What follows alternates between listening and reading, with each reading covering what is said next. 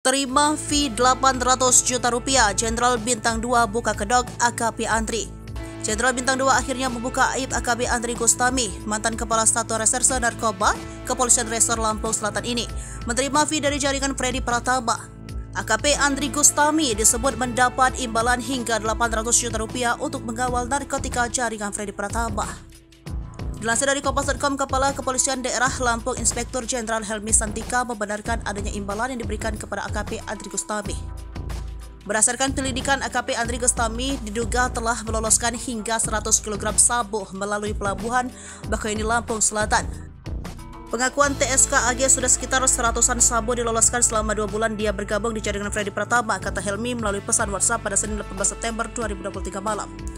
Meski tidak secara langsung menyebut AKP Andri Gustami mendapat imbalan 800 juta, Helmi menyebut imbalan atau kisaran yang diberikan per 1 kg yang dibayarkan jaringan itu.